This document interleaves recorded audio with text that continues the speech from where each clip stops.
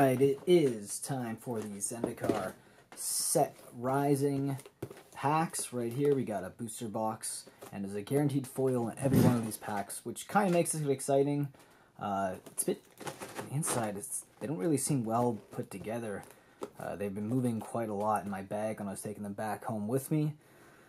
But I mean, hopefully, there's no damage to the box topper. That's we're gonna be where the majority of the value is, unless I'm hitting something seriously good on the uh, the list, which I don't think I am. If you've seen any of the people opening the boxes of this right now, uh, the list cards, a lot of the pulls are not very exciting. I've seen Wren and Six pulled at least once though, so that's kind of cool.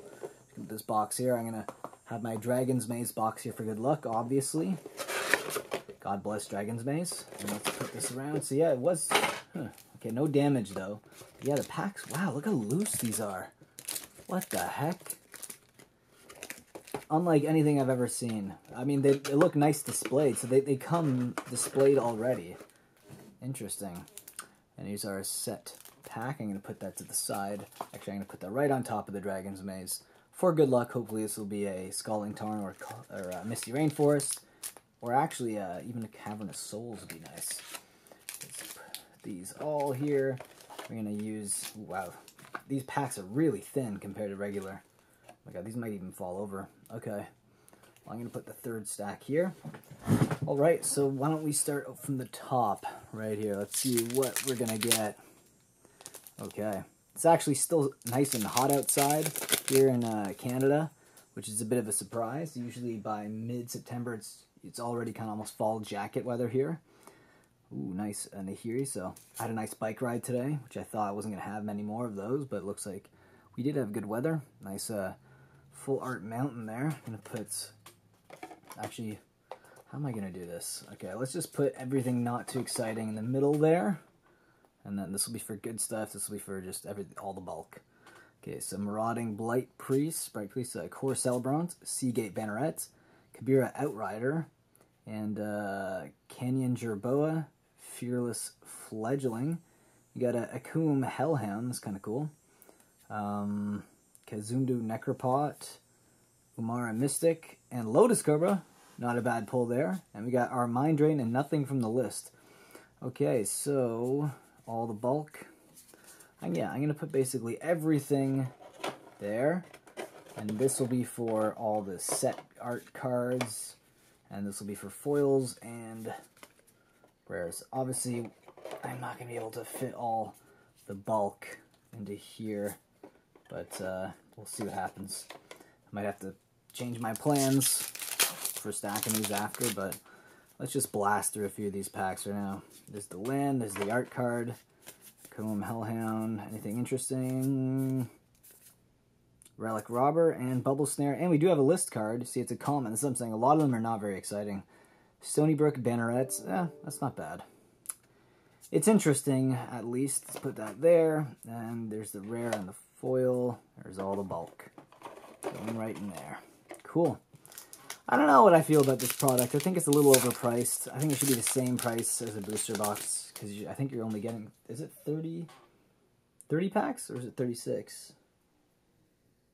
Actually, no, you're getting 36 packs. Okay, actually, maybe uh, it is should be, maybe the price is accurate for what it is. But you are getting less cards in here.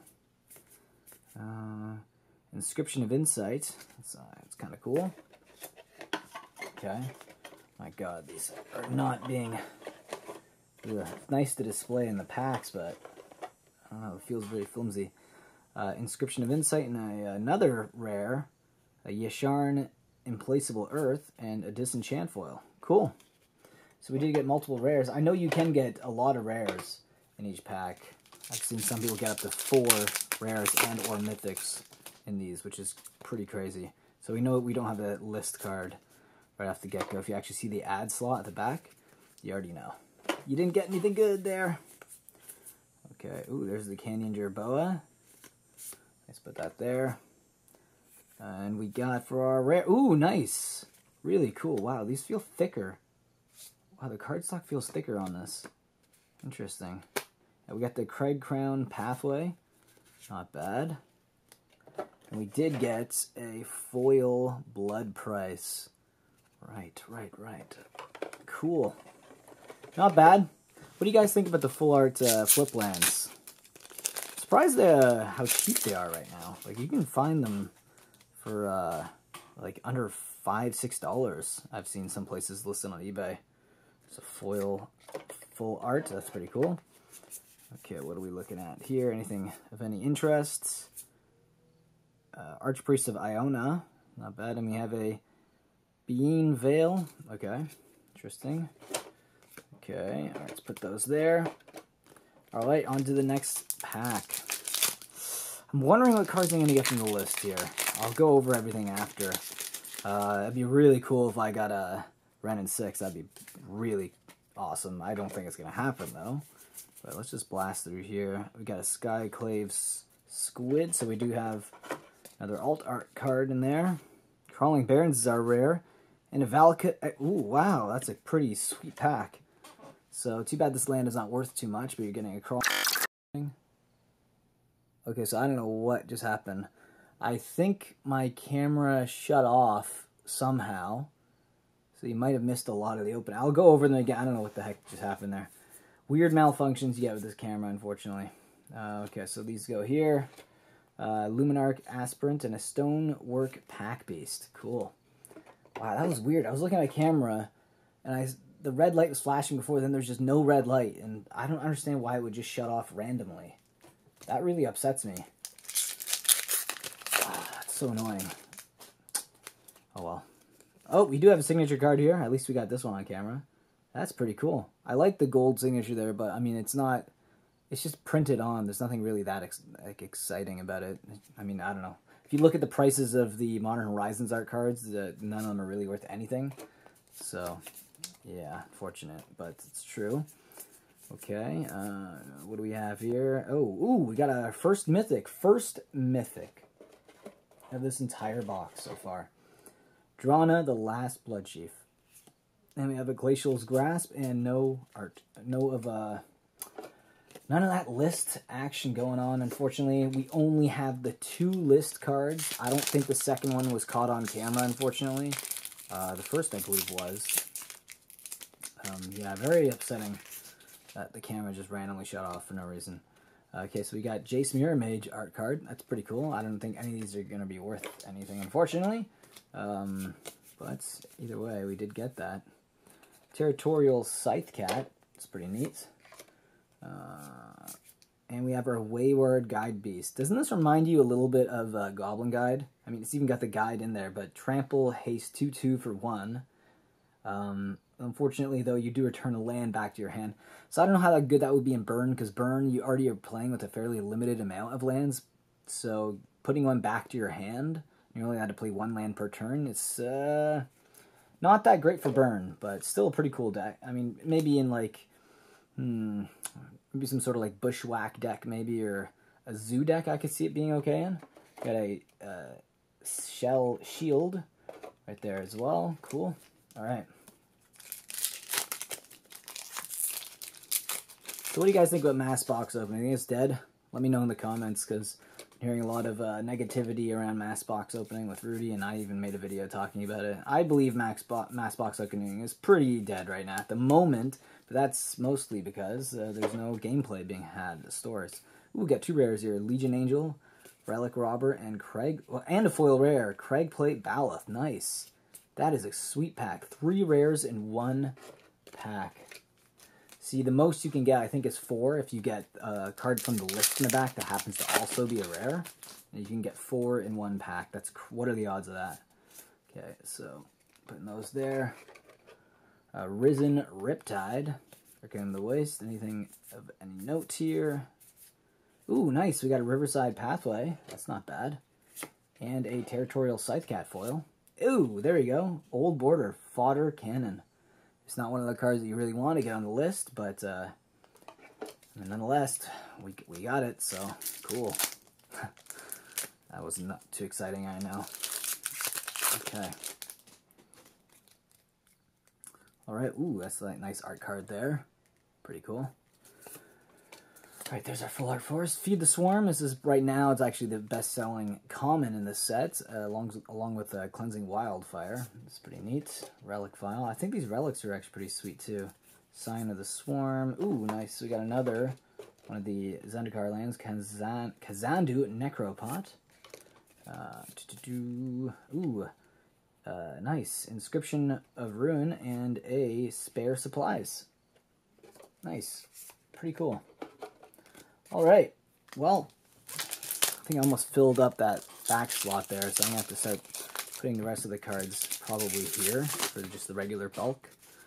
The Art Mountain. Cleansing Wildfire. Really good card. Master of Winds and Sneaking Guide. And we got another list card. It's a rare Sensei Golden Tail. It's not one of the ones you want to see. But nonetheless, uh, if you actually look at the list, there's not a lot of cards in there that have a lot of value. Um, but, I mean, we did get a rare, so that's cool. So, two rares in this pack, along with the foil. Hope you guys are having a good weekend right now. Did you guys pick up any Zendikar Rising product? And if you did, are you planning on picking up more, or are you just going to open your one box and then just be done with it and wait for the next set, like Commander Legends? Seems to be what the majority of people are kind of doing now. Uh, once a set comes out, people are already bored of it within the like after pre-release weekend, there's maybe a week or two of hype, and then that's it. It's gone. No more hype. Okay, we got a Skyclave As... Uh, ooh, nice! Moraug Fury of Akoum. Skyclave Apparition, also pretty cool. And uh, we got a Nimana Sky Dancer. Awesome pack. Awesome pack.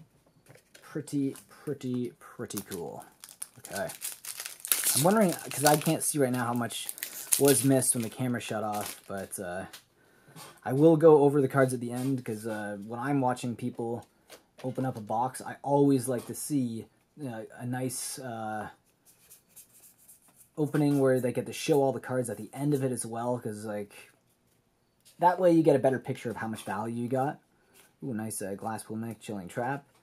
Um, I don't know, I just think it's, it's just nicer to see all the cards at the end as well that were of any value, so you can make your own assessment whether it was a good box or whether you want to pick one up.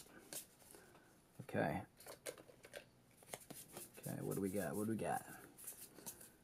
Uh, okay. So I'm going to put these stack, stack here now. We have a Verazol, the Split Current. Ooh, nice foil here.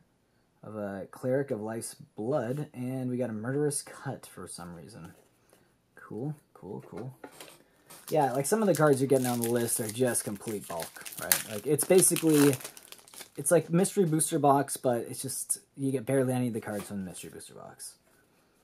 Which is uh, kind of shitty. Oh, wait, no, these are going here. What am I doing separating my, gotta separate my piles properly, darn it. Okay. Okay, we got a Skyclave pickaxe. Nice, uh, how's that going there? That's a nice Zendikar card. Sizzling Barrage, Sure-Footed Infiltrator, Tajuru Paragon. This is one of the first cards that they spoiled too. Territorial Scythecat foil. That's nice. That is really cool. Actually, uh, love that card. And I'm making like these really janky landfall decks right now for uh, my girlfriend because I, I got her into Magic a few months ago. And she likes green, but I, I am trying to get her into like a Gruul uh, color matchup because I think it, for players who are just starting off, Gruul's a really funny uh, it's a good it's a good combo to play along with. Uh, it's like smash and dash. You have like you know big green keep creatures, fast red ones. Uh, there's a lot of ways to remove things with red. You can also mana ramp. Landfall's really good for Gruul. So she's enjoying it so far. So there you go, Wizards. You can thank me later. I got uh, I got you guys more players. How about that? Uh, Myriad Construct and uh, Murasa Brute. Nice. I always like getting people into the game. I do believe Magic is the best card game of all time. I think it's the best game of all time, to be honest, in general. There's obviously other games that I'd rather play in certain situations, but uh, overall, I just think Magic's the best game there is. Okay, Cleansing Wildfire. What do we get in here? Okay, ooh, Leyline Tyrant. This is a sweet card. I love that. Oh, that is so cool.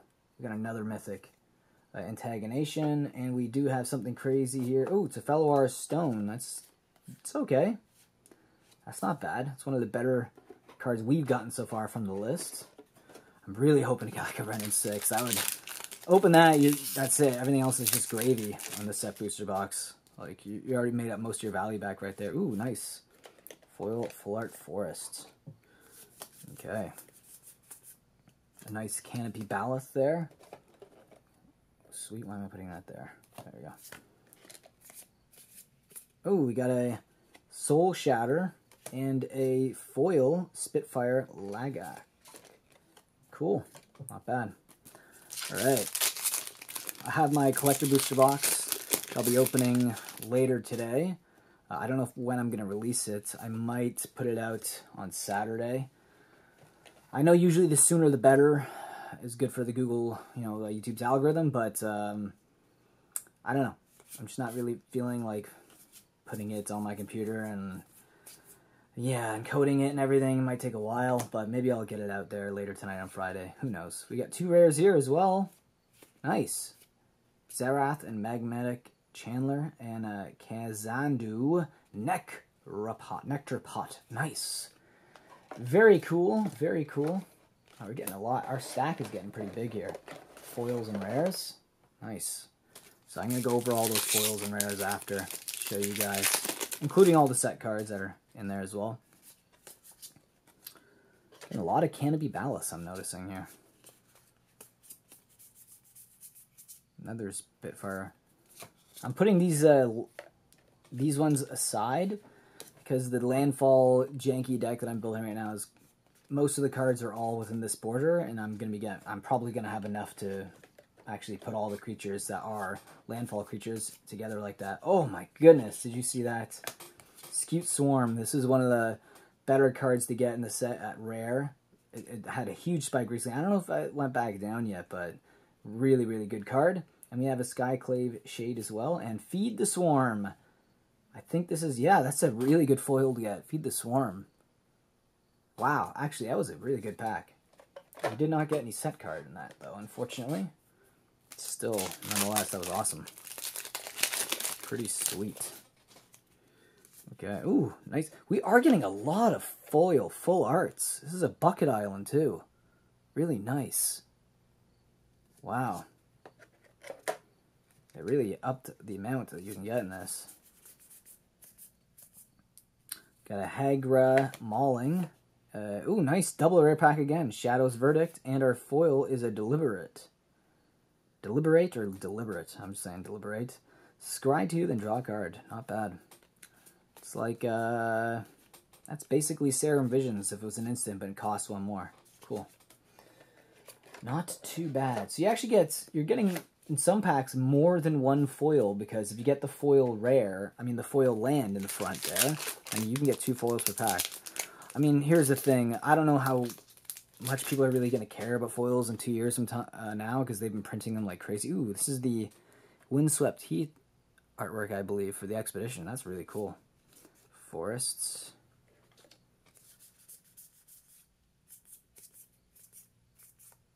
Ooh, nice. Agadeem's Awakening. That's really sweet. And a Relic Vial. Awesome. Awesome possum. These packs are really nice and easy to open. That is a plus. Mountain and our art card here. We got a Prowling Felidar. Uh, Nissa's Zendikon, interesting name. Thieving Skydiver. And a Expedition Champion. Ooh, and we got another list card, Blight Sickle, so that sucks. Yeah, so, um, yeah, not... the list cards, I've barely seen any really good pulls happen from. I think that might be our last list card, too, because we only have two more packs open, so that was... In terms of the how the list goes, was not very exciting. I think that the prices of these boxes should go down based on how rare it is to get anything of value from that list slot. I mean, obviously there's going to be huge swings and huge misses just like most products, but it's just like, come on, you're I've barely seen any good openings for the lists. Uh, we have Skyclave Apparition and Malakir Blood Priest. I don't know, let me know if you guys have seen any. I mean, I think I've seen quite a lot bo of box openings here on YouTube for uh, Zendikar Rising set boosters, but when it comes to seeing really good cards in the set list, I, I haven't really seen any of them, to be honest. Barely any cards from that list. Throne of Makindi, practice tactics, and we just have a Kor warrior token. Okay, cool. All right, so let's go over this expedition here. What do you guys think? Expedition box topper time. Let's go. Let's go. What is it going to be? What is it going to be? I got a uh, Cavern of Souls, my last one. This one is... Ooh, Horizon Canopy. Very, very sexy. I'm loving that. I'm loving that card. Not bad at all. Okay, so let's put that here. Uh, I mean, it's not the most expensive. It's somewhere in the middle of the pack right now. I think it's like a $45 card around there. Still pretty cool. So let's see, how many mythics did we get? Uh, one, we got a lot of rares here. A lot of foil uh, lands as well. I don't think we actually got much mythics. Hellkite.